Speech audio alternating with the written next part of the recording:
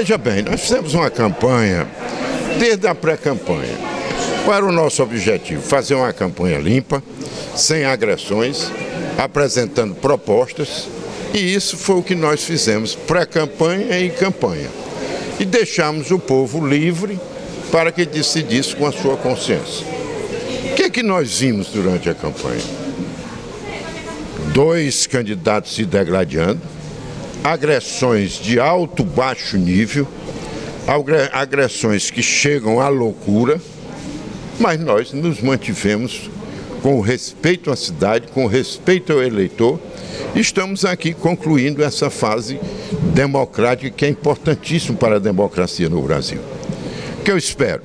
Eu espero o julgamento da população. Eu tenho a minha história, tenho a minha vida, todos sabem da minha vida e da minha história.